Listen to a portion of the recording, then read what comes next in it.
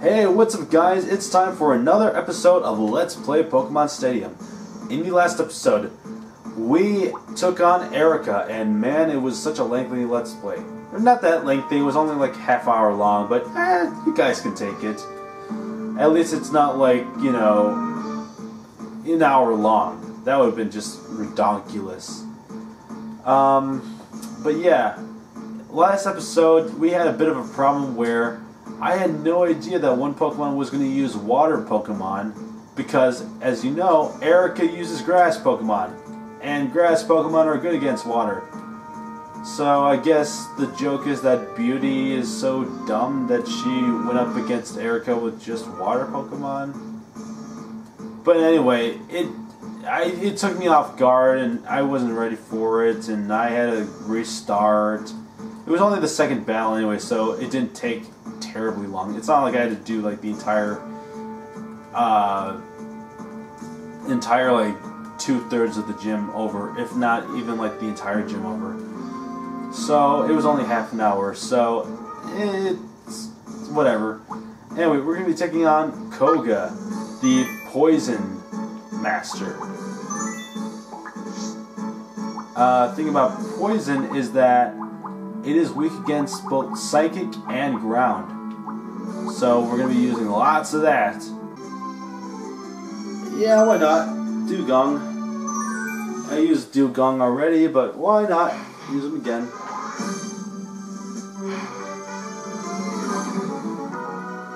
Alright. So you mostly have poison, I see. Hmm, I see, I see. Um, good thing we have Alakazam. Uh, yeah, we have Alakazam. We have Sandslash. Oh, I probably could have chosen Marowak. Damn it. Damn it, damn it, damn it, damn it, damn it, I love Marowak. I, uh, Octoliba. Anyway, I believe we're also gonna choose. Hmm. Uh, Porygon. Why not? It is psychic. Here comes the first opponent. An easy victory should be Alakazam. Oh, this is gonna be interesting. That's a weird looking Ditto, by the way. Okay, hopefully I can go first and then. Does Ditto transform into anything even though I'm not there? Let's see if it does anything, really. Oh wow, I'm not even there, Ditto transformed. That's kind of funny. just trading warning blows now. What's this? I didn't really always find Ditto that great of a Pokemon to begin with. Is more resistant to physical If it's, a, if it's more resistant, then I hope I, uh, I, I hope I don't miss with this psychic move. Oh, it takes over the type too? I didn't know Ditto could do that. I always thought it stayed as a normal type. What's Kinesis do? Oh, that's what it does. Oh. Oh, I see. Yeah, I'm just gonna keep spamming dig. Burrowed underground. It barreled on the ground. What's that? The move failed. I love how cause I love how Alakazam has to take out another spoon in order to use Kinesis. Like it doesn't have spoon like it doesn't have spoons enough as it is. Oh, it's venomous. Aw, dude, this Venom is so f Watch this. What now? Boom. I thought it would do more, but nope. Oh well. Confusion it is. It's a revolving door of Pokemon. It's a revolving door of Pokemon. Yeah, dude, come on, cut it out. Let me just battle you. Come on. Stop being a pussy. What's this? Stop whining. Stop it.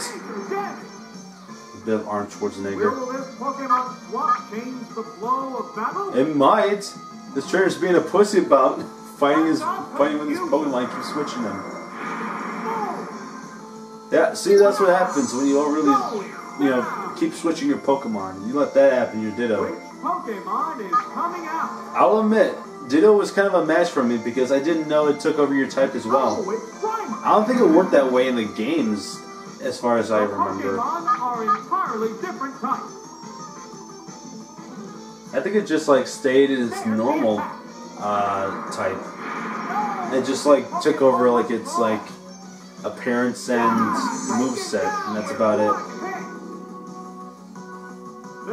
And like from what I remember, I think Ditto just had like some really crappy stats too. There's nothing left in reserve.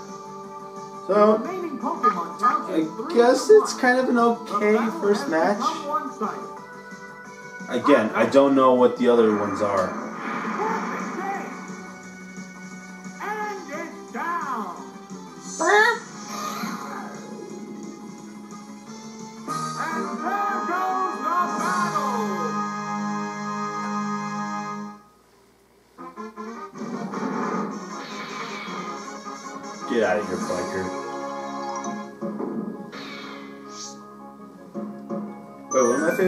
Oh, Tamer.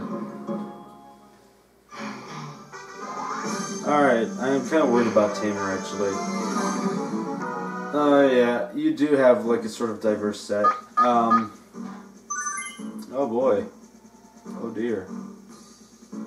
Uh, you have, uh. Two Pokemon, or no, sorry, three Pokemon that are weak against Psychics. Uh, two that are weak against Grass. Hmm. Decisions. Decisions. Decisions. I believe I will start out with. Hmm. Oh, I forgot what conversion does, to be honest. Oh, I think that just takes over the tide now that I think about it. I didn't even notice that Porygon had recovered. That's awesome. There's only like a handful of Pokemon that uh, can recover. Uh, one of them being Staryu, Porygon, and um, Kadabra. And also, Mewtwo starts out with uh, recover as well, so yeah, Mewtwo is such a boss in that aspect. Um, I will start out with Porygon now that I think about it. I will also uh, enter. Hmm. Hmm. I will enter my Dewgong into the arena as well. Uh,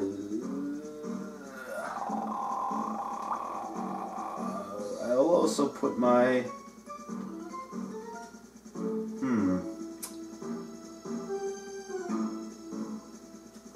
No, no, no, no. no how, how, how about how about this? All right. I'm not gonna choose Porygon. I'm gonna choose Alakazam being first. Dewgong and then Exeggutor. Sound good? Very good. Here's the second adversary. The challenger needs to stay calm to earn What is that behind? Is that just slime pouring from the walls? That's pretty hardcore, actually.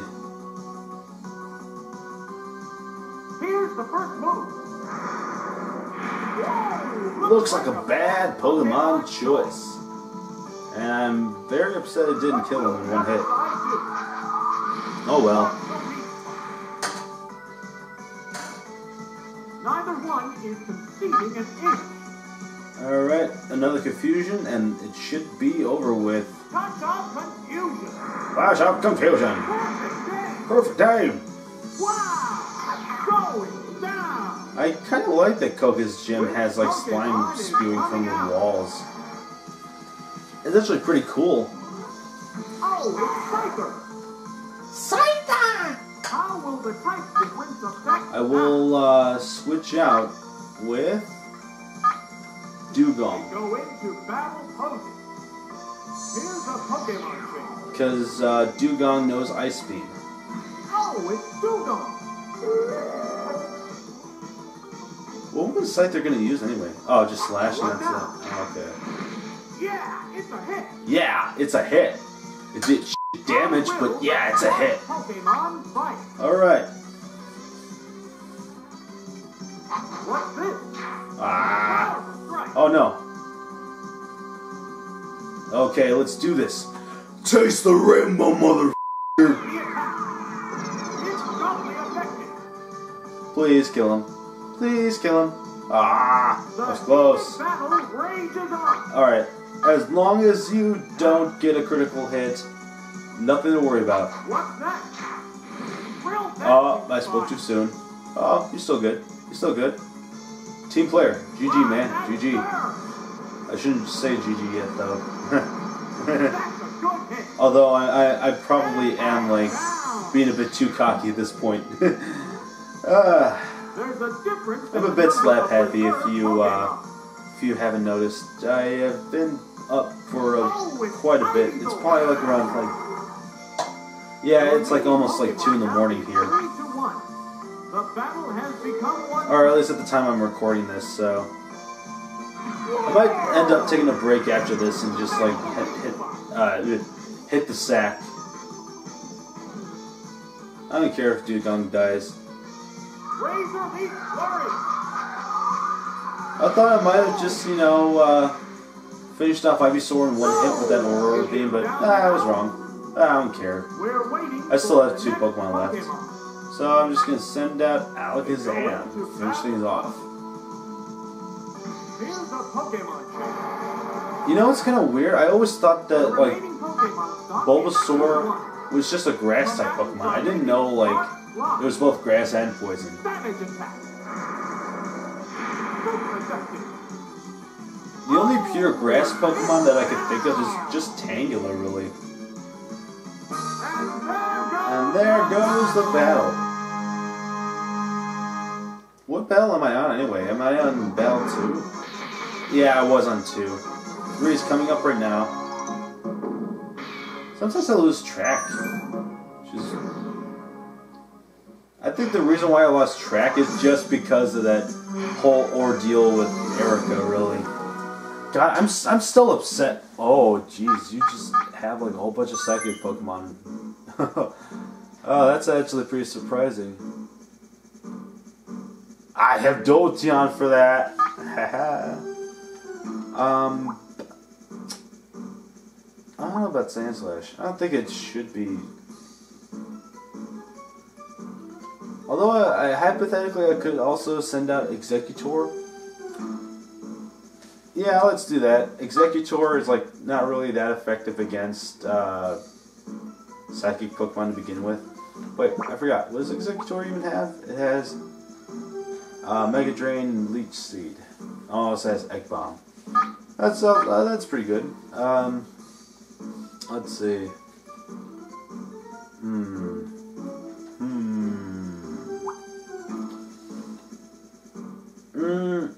Yeah, why not? Send out Sandslash.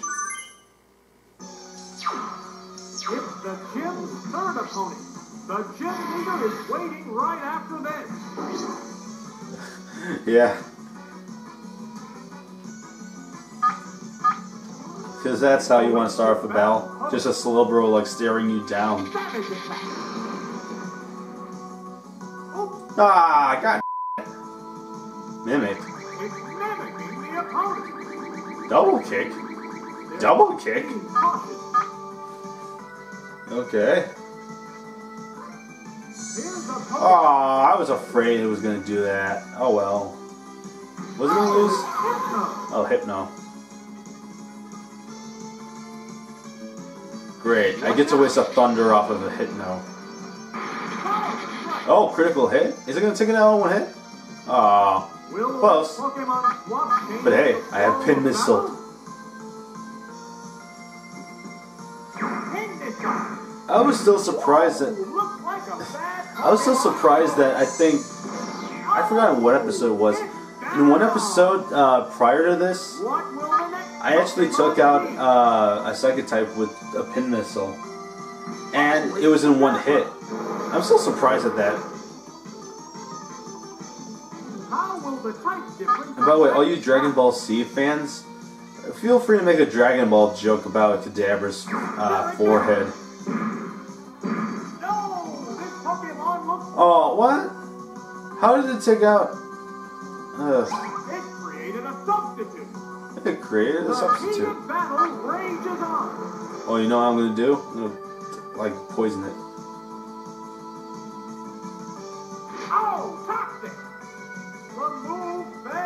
Failed. It's restoring HP. Oh. I almost forgot I can do that. Neither one is I didn't know this to knew. Oh, whatever. Am I just gonna be a spamming pin missile here? The substitute disappeared. I suppose so. What's that? Ouch. What a furious battle! What a furious They battle. strike fighting poses. Strike fighting poses. We've been standing here this whole time, dude. Devastating! Devastating. Please knock it out. Oh, yeah. Close. At least it didn't use recover again. Oh, the attack missed. Fire one At least I have the upper hand here. One more should do it. To do is just use Thunder on Slowbro. Perfect day. Wow! Going down! Yeah, There's a difference in the number of reserve I just feel like a Pokemon geek in the sense that I'm such a nerd that even I know that, you know, bug type moves are good against psychic types. remaining Pokemon count is 3 to 1. The battle has become Because I don't think any other, like, type outside of bug can really dish out some damage against psychic types. It's a one hit wonder. Speaking of weird shenanigans happening in the Pokemon universe, Um, in the anime, they made this whole ordeal about Slowbro evolving from uh, having a Shellder like clamp onto its tail. Even I still don't get that. Why does that happen? It's just weird that some Pokemon are. It's just it's just so weird in the sense that. Ah, whatever. I don't care anymore. It's just sort of weird that Slowbro evolves like that. Or at least from a Slowpoke, that is. Because a Slowpoke is supposed to go fishing for a shoulder and supposed to clamp onto his tail and become a Slowbro. And they made this whole big deal about how it benefits them both. Where in reality, what what is Shellder getting out of it? And you know what the weird thing is? That I guess these Pokemon are sort of united together. Because when it does happen, in the anime, when uh, does clamp onto uh, Slowpoke's tail and both become a Slowbro, Shellder still uh, is still like saying Shellder, which is totally weird because what is Shellder getting out of this? And like the professor or whatever that was in that episode, he said Shellder gets to travel on land. Um. Okay, what else does Shellder get? Because otherwise, Slowpoke can now you, stand on two legs and can learn moves like Mega Punch and whatnot. And that's about it. What does Shellder get out of it? Ah, well, I don't care. It's a stupid episode. Alright. Alakazam, Porygon. And, uh. And, uh. Uh. Oh, Sandslash. The next battle is versus Koga. The Koga. and the master of poison. Poison. Challenger do anything about the effects of poison? About the effects of poison? Yeah, too bad you can't carry, like, antidotes or anything.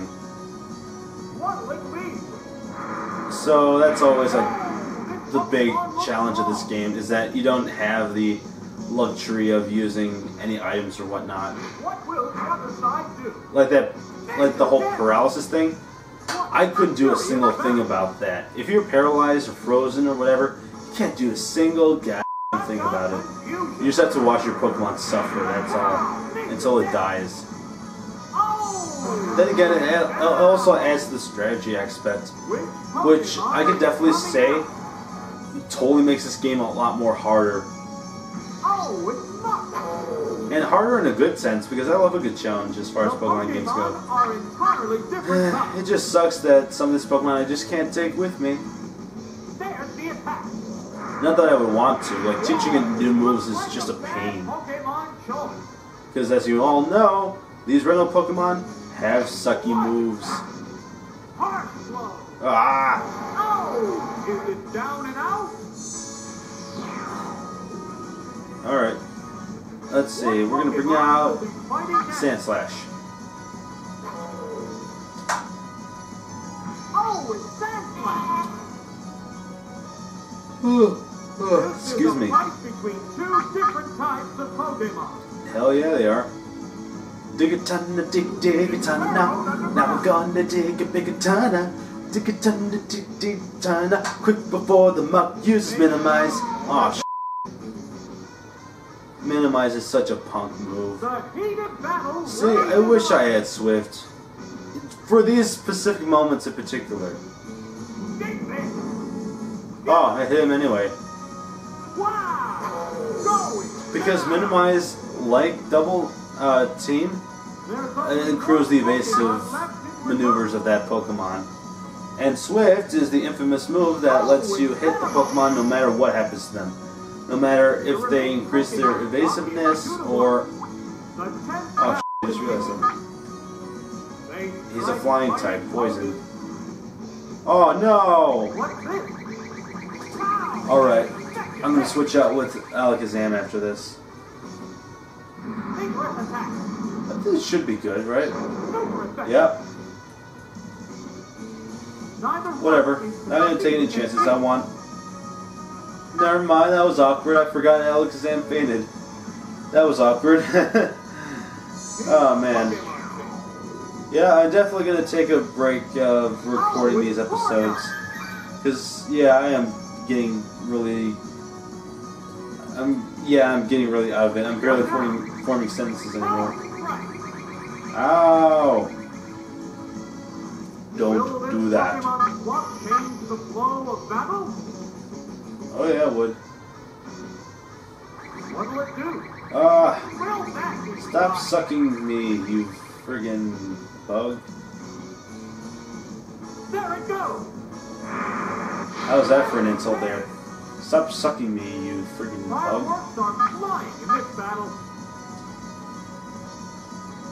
Ugh, What's that? knock it off. Yeah, it's a hit.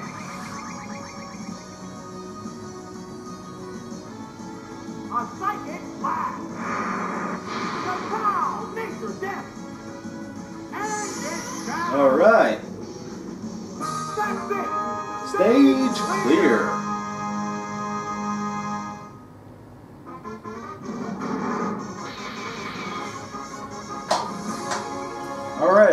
Making uh, some very good progress here. I have to admit. Not to my own horn or anything, but uh, we're doing pretty damn good. Pretty darn good. Alright, um. Yeah, you know what? I'm just gonna take a break from recording.